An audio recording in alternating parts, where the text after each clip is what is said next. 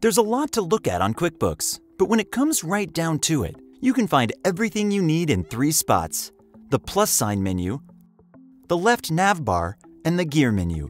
Say you want to record something that happened in your business. Click the plus sign menu. Once you've created a bunch of invoices and checks, you might need to find one. Click Search and enter the check number, date, or amount.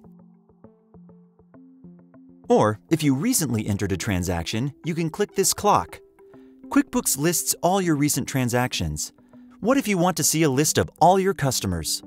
Look to the left. QuickBooks lists all your customers and links to all the transactions with their name attached. QuickBooks has lots of good stuff on that left navigation bar. Transactions groups your transactions. Money in transactions are under Sales. Money out transactions are under Expenses. You can also get to QuickBooks Reports here on the left. One more place you can look for things is the gear icon at the top right. You probably won't need to use these tools as often, but it's good to know they're there.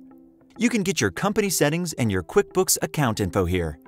This is also where you can find advanced accounting tools like Reconcile, Budgeting, and the Audit Log. Feel free to explore. This is your QuickBooks. Get comfortable